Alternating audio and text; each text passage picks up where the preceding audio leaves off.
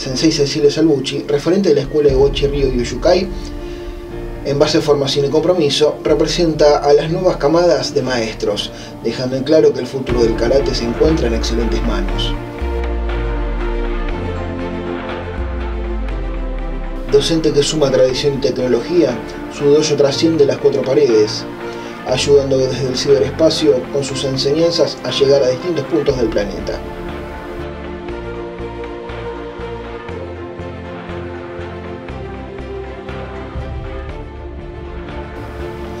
Desde Okinawa ya hace varios años que se promueve la enseñanza del Kashiwa, conocido como Fukyugata-san.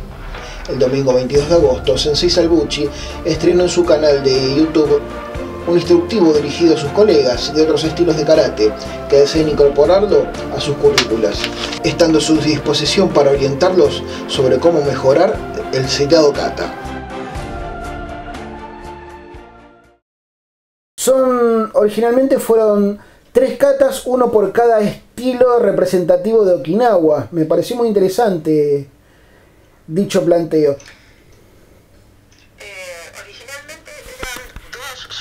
no se había llegado a concretar el tercero de la línea Fukyugata, porque en los años 40, cuando se junta el Comité Especial de Karate de Okinawa, eh, llegan únicamente a generar estas dos formas representativas, que Ichi eh, es representativa del Shorin y Fukyugata Ni es una kata que había ensamblado un maestro de Goshu, entonces ahí estaban representados dos grandes estilos de Okinawa.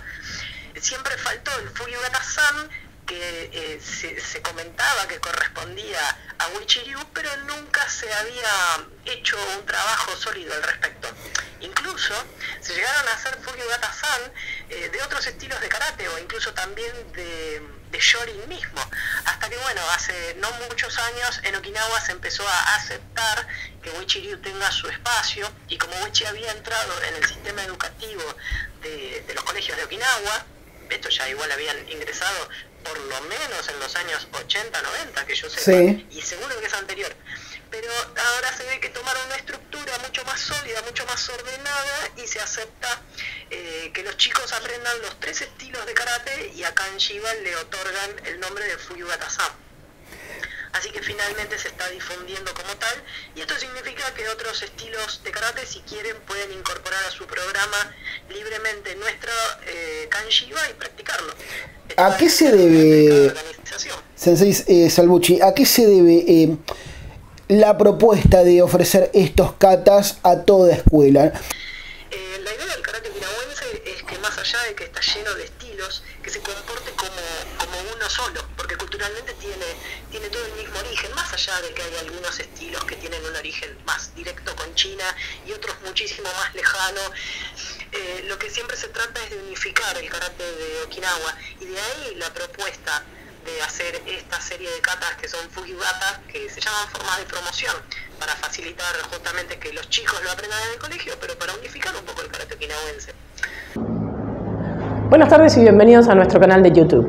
En esta oportunidad vamos a aprender Kanshiba. La kata Kanshiba de Wechiryu, que es la segunda de nuestro estilo, ha sido seleccionada por las otras escuelas de karate okinawense como la tercer kata de la línea Fugyugata, que son las formas de promoción. Recordemos que la línea Fugyugata tiene Fugyugata Ichi, que es de Shorin-ryu, Fugyugata Ni, cuyo origen es una kata de Goshuryu llamada Geki Saidai Ichi, y en este caso Fugyugata San es Kanshiba dentro de las líneas de Wechiryu. Pueden encontrar más información sobre la línea de los Fugyugatas al pie de este video en donde voy a compartirles el artículo que tenemos en nuestra web. De hecho, cuando yo aprendí las primeras Fugyugata, eh, aprendí eh, la Ichi y la Ni en los años 90, supongo que fue, nosotros siempre lo practicábamos en el dojo con la no de rendirlo en un examen nuestro, porque jamás figuraba, sino de que si nos juntábamos con una escuela de Shorin o una escuela de Goshu, tuviéramos una forma para compartir y hacer todo juntos. Así que desde siempre, por lo menos yo tuve esa, esa percepción y esa visión con respecto a estas catas, que era mantener unificado el karate okinawense. Técnicamente, ¿qué te aporta como practicante? Eh, creo que sería para base, ¿no? Puntualmente. El Fugyugata-san, eh, o sea, el nuestro, el de Wechiryu. Exacto. Y a los otros estilos de karate, por ejemplo, les aporta una manera mmm, diferente de, de bases, de manejar las bases, porque si bien el Sanchin Dachi, que es la base predominante del Wichiryu, está en los otros estilos, eh, no es, tan predominante, no hacen nunca una capa con toda, con toda la base en Sanchin tal como lo hacemos nosotros, así que les puede llegar a aportar un trabajo de pies interesante, de desplazamiento, y eh, nosotros tenemos un bloqueo circular que es predominante y es ligeramente diferente a como lo ejecutan los otros estilos. Creo que se parece mucho más a lo que hace Goju que a lo que hace Shorin. Yo las veces que ejecuté un Kakeduke en Shorin Ryu eh, directamente lo trabajan en, otro plano, en un plano más horizontal y nosotros lo hacemos en un plano más vertical con la idea de convertir ese círculo en una espiral cuando nos vamos desplazando. Entonces les aporta unas técnicas diferentes, un manejo del cuerpo diferente y después si alguna escuela encima quiere incorporar eh, el bunkai, les da un entendimiento distinto de cómo trabajamos nosotros a corta distancia. Es interesante, eh, ya que entrando a lo que es la enseñanza de en video, que cómo manejas el bunkai, porque eso ya te exige un estudio más profundo. Sí, eso fue uno de los primeros desafíos, eh, que realmente me lo tomé muy en serio cuando fue el tema de la pandemia, porque lo que yo fuera a generar también le iba a servir a mis alumnos presenciales que en ese momento no podían compartir conmigo el dojo. Algunas técnicas las tomé eh, pedagógicas, ¿no? Las tomé del sensei George Matson, que él ya viene trabajando con la idea de, de un dojo virtual desde hace más de 15 años, pero otras eh, tuve que, empezar a echar mano a la creatividad, o sea, entre nosotros lo que podíamos generar de elementos caseros para auxiliarnos en la práctica lo hacíamos, después también algunas ideas las tomé de un karateca eh, que se llama Jesse Enkamp, que enseña karate también por video, entonces digo, a ver qué tiene este muchacho para aportar a este desafío que estamos teniendo y despacito fuimos resolviendo cómo ejecutar este, todas las técnicas que podíamos, tanto de los Bunkai como los Yakusoku Kumite, que es combate prearmado, contra elementos que pudiéramos armar en casa, como podría ser, por ejemplo, un, palo de escoba para armar un brazo de madera y atarlo contra las rejas en una ventana de tu casa. Claro. Y en base a eso practicar. O auxiliarte, por ejemplo, con un cinturón de, karate atado, no sé, supongamos a un picaporte, y vos lo tensas, lo extendés y con eso te auxilias para poder practicar todos los bloqueos circulares. Porque esa va a ser nuestra base, el tema de la práctica del bloqueo circular y después el contraataque. Y hay obviamente más técnicas, pero este era el primer desafío. Entonces echamos mano a esa clase de recursos, el que tenía suerte y tenía una bolsa en casa, le ponía brazos de madera a la bolsa. Yo en mi caso me compré una bolsa de pie para poder hacer todos estos este, experimentos y después el muñeco de Wing Chun, como todo el mundo vio en algunos sí. videos. Pero empezamos a probar con todo lo que teníamos a mano para tratar de emular esos brazos de madera que nosotros necesitamos para practicar. Así que eso es lo primero.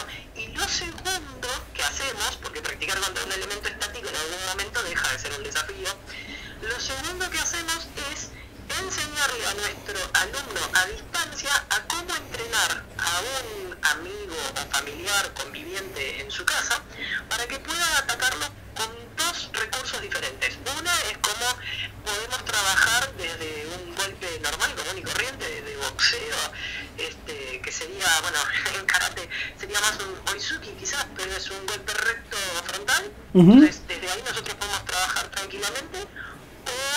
podemos ayudarlo a que se arme eh, un palo con una protección en el extremo, que hay gente que le pone un guante de boxeo, eh, también usamos flota flota para cubrir y no lastimarnos, y con eso enseñarle a la persona que nos quiere ayudar a hacer estocadas para que nosotros en base a eso podamos trabajar y aumentar nuestros reflejos y hacer todos los ejercicios. Qué bueno eso. Ceci Salbucci, eh, ¿cómo piensa de empezar a difundir lo que es el Kanshiba? Bueno, eh, más allá de su dojo, la idea es transmitirlo a otras escuelas. Básicamente arrancaría por lo que es eh, la parte en video. Em, el proyecto lo inicié en el 2019, si mal no recuerdo, en un seminario de la Federación Argentina de Práctico Budo Sí.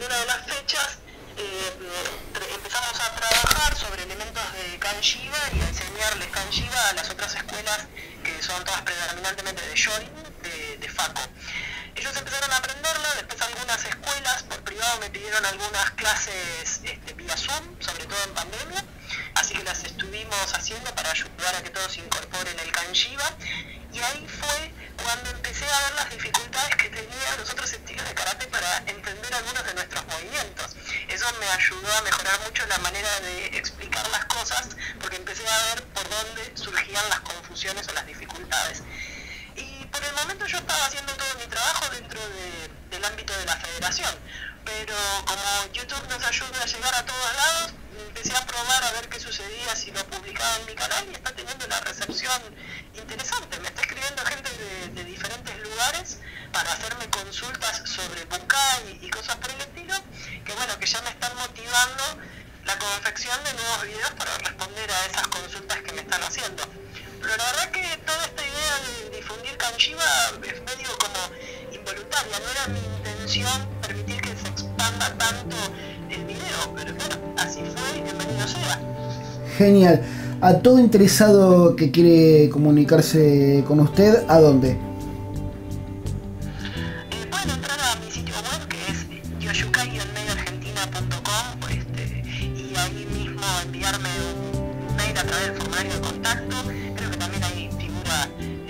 WhatsApp. Me pueden encontrar en las redes sociales, mismo en el canal de YouTube, dejarme algún comentario y yo enseguida los pongo, me pongo en contacto. Eh, y si sobre este tema además me pueden lo que necesiten. Perfecto, vamos a hacer así entonces, vamos a poner las redes, las diferentes redes sociales que maneja para que todo interesado eh, se acerque. Entendamos que al ser eh, una enseñanza a distancia puntualmente, más allá que todo aquel que guste y pueda puede acercarse al dojo de Sensei Salbuchi, no nos limitamos a Argentina, puede ser de todo lo que es países limítrofes o donde sea, ¿verdad?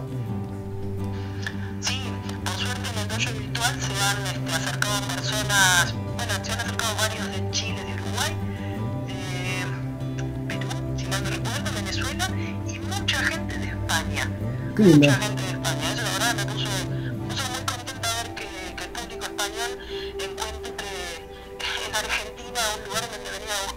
Buscar información y de enseñanza. Qué lindo. Qué lindo. Bien, todo aquel que quiera acercarse a Sensei Salbucci, eh, le vamos a poner a continuación las, lo que son las redes sociales. No nos se limiten a lo que es el Kata Kanshiba, sino todo el material abundante que maneja Sensei Salbucci sobre Wechi Ryo en particular, que ya que es alumna de un prócer del karate como es George Matson, así que aprovechenla. Muchas gracias, Sensei Salbucci.